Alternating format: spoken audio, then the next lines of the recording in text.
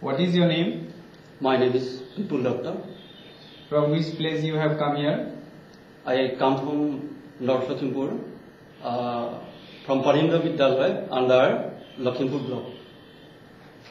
How was your experience on six days ICT training program under Microsoft Project Shiksha?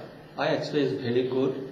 Uh, I also encourage every teacher to attend such a training program because it is very fruitful for all the research community.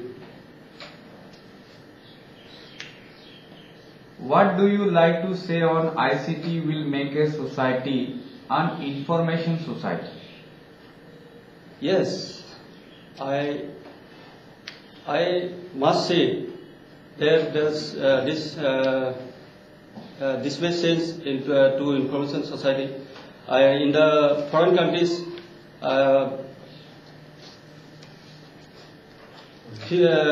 many years ago, this information uh, taken place, but India is a backward uh, country. Uh, ma- many people, uh, many institutions, educational institutions uh, situated in the rural areas. Therefore, I want to say that uh, gradually the Indian government also take steps for developing the information technology. Therefore, I uh, want to say that uh, gradually uh, it also become a techno- uh, information society.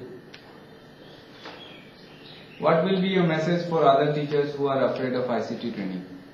I encourage them uh, to attend such a program because every teacher has tolerance and they have patience to attend such training program uh, uh, conveys such valuable uh, uh, times for they can uh, they can spend uh, valuable times for the students, uh, therefore they can uh, also attend such a training program involved uh, with patience.